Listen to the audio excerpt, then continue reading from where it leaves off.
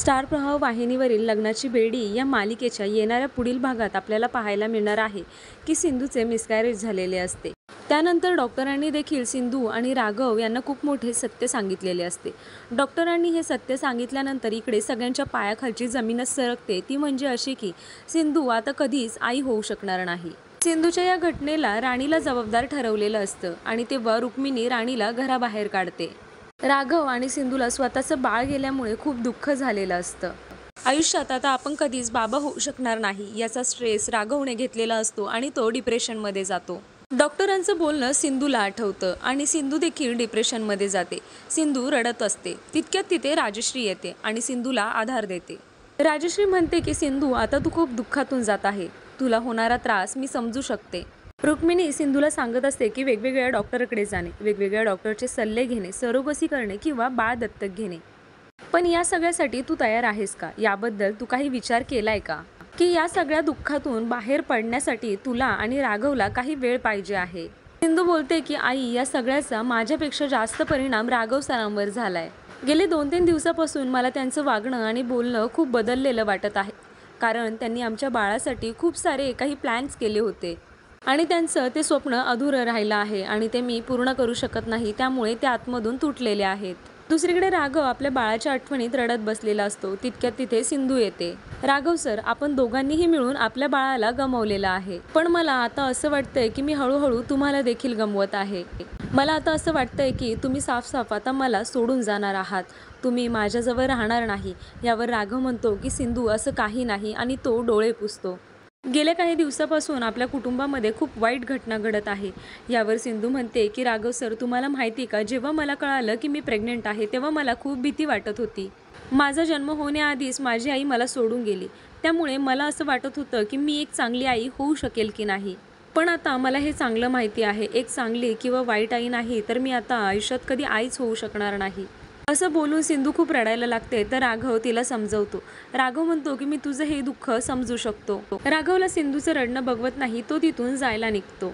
तितक्या सिंधू त्याला हात धरून थांबवते आणि म्हणते की आता आपल्याला एकमेकांशी बोलावंच लागेल. आपण दोघंही सगळ्यांचं बोलणं ऐकून घेतो पण आपल्या दोघांच्या मनात काय आहे हे आपल्याला कधी बोलताच आलं नाही. आपल्या बाळासाठी तुम्ही खूप आनंदात होतात हे मला माहिती आहे. आपल्या बाळासाठी आपण दोघंही एक्सायटेड होतो. आपल्या आयुष्यात ते नाही. आपल्या आयुष्यात त्रास आणि दुःख एवढंच आहे. पण हे दुःख आणि त्रास कमी करण्यासाठी आपल्याकडे एकच उपाय आहे असं सिंधू राघवला सांगते. आपल्या आयुष्यात काही करून आपल्याला बाळ आणावं लागेल आणि डॉक्टरांनी तसे दोन ऑप्शन देखील आपल्याला दिले आहेत. तर आपण बाळाला दत्तक घेऊ शकतो तर आपण सरोगसी करू शकतो. तुम्ही मला सांगा या दोन ऑप्शनपैकी तुम्हाला कोणता ऑप्शन आवडेल? राघवला खुश करण्यासाठी सिंधू हे बोलत असते. तितक्यात राघव म्हणतो की मला हे दोन्हीही ऑप्शन आवडले नाही. या दोन्ही ऑप्शनच्या विरोधात मी आहे असं बोलून आता राघव तिथून निघून जातो. दुसरीकडे राजश्री रत्नाकरला सांगत असते की बघितलं ना राघव कसा सिंधूपासून लांब लांब जातोय. तुम्ही हॉस्पिटलमध्ये राघवला समजावलं होतं ना या नाजूक परिस्थितीत तुम्ही सिंधूची काळजी घ्यायला हवी. पण राघव यातून काही बाहेर यायचं नावच घेत नाहीये. रत्नाकर राजश्रीला म्हणतो की तुझ्यापेक्षा राघवला जास्त कोण ओळखतं या घरात? लहानपणापासून राघव असाच आहे. नेहमी तो दुसऱ्यांचाच विचार करतो. घरामध्ये कोणी संकटात असेल तर ढाल बनून त्यांच्या पाठीशी उभा राहतो. पण आता त्याच्या मनावर घाव झालाय. आईच्या कुशीतून जेव्हा बाळ आपलं प्राण सोडतं तेव्हा त्या आईचा त्रास सगळ्यांना कळतो. पण एका वडिलांना देखील त्या गोष्टीचा त्रास होत असतो हे कोणाला मात्र कळत नाही. त्यामुळे आपणही राघवला समजून घेतलं पाहिजे त्याला साथ दिली पाहिजे त्याचं दुःख आपण वाटून घेतलं पाहिजे. राजश्री म्हणते की मला सगळं समजतंय पण या छोट्याशा गोष्टीमुळे राघव आणि सिंधूमध्ये कायमचा दुरावा यायला नको.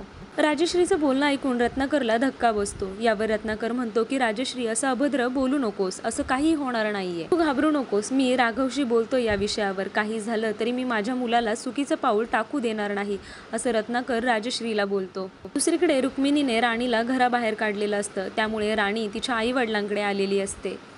रायाचा फोटो घेऊन राणी रडू लागते. तितक्यात राणीची आई तिथे येते आणि म्हणते की काय झालं तुला? तुला रायाची आठवण येते का?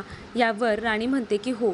आई मी तुला एक गोष्ट विचारू का? रत्नबाग्यांच्या घरात तू असं का बोलीस? रायचे गेल्यानंतर ही ते तिचं काहीच इज्जत नाही. तुला असं वाटतं का रुक्मिणी मामींनी मला कायमचं त्या घरातून बाहेर काढलेलं आहे? व राणीची आई तिला म्हणते की बाळा तुझं मन साफ आहे. तुझ्या मनात कोणाबद्दलही वाईट नाही.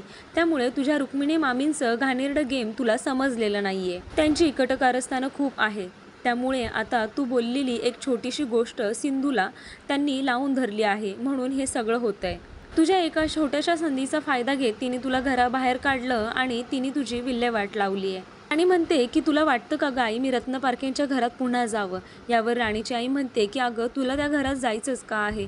तू त्या घरात गेली आणि तुझ्या आयुष्यातील सगळा आनंदच नष्ट झाला. आठवतंय ना तुला राघवने तुला रायाशी जबरदस्तीने लग्न करायला सांगितलं होतं. तो त्याच्या आयुष्यात मजा करत आहे. पण काही दिवसांनी तुझ्यात आणि रायात देखील प्रेम निर्माण झालं होतं. पण आता राया तुला सोडून दूर निघून गेला. तो परत कधीच येणार नाही. रायाचं बाळ जरी तुझ्या पोटात असतं तरी आपल्याला काहीतरी करता आलं असतं. कारण त्या बाळासाठी का होईना रत्नपारख्यांनी त्या बाळासाठी तुझ्यावर या घरात राहण्यासाठी जबरदस्ती केली असते. पण आता तरीही तुला त्या घरात जायचं आहे का जिथे तुला इज्जत नाही अशी राणीची आई राणीला विचारत असते.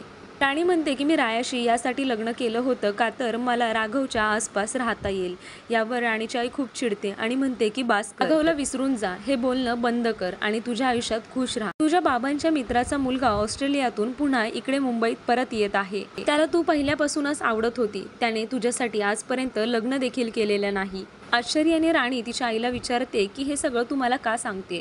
यावर ती म्हणते की मी रोहनला तुला भेटायला सांगितलंय आणि त्याला देखील तुला भेटायची खूप इच्छा आहे. मग दोघांनाही बोलता यावं यासाठी मी त्याला तुला कॅफेमध्ये भेटायला सांगितलंय. रोहन राणीला भेटायला येणार याचा राणीला खूप राग येतो आणि ती आईवर ओरडते आणि म्हणते की माझ्या लाईफचा एवढा मोठा डिसिजन घेताना तुला मला एकदाही बोलावंसं वाटलं नाही का? तू तुझ्या आयुष्यातले निर्णय घेतले आणि त्यांनी तुला कुठे आणून ठेवलंय बघितलं ना? त्यामुळे माझं ऐक आणि आयुष्यात पुढे जा. राणीची आई रोहनला राणीला भेटायला बोलवते.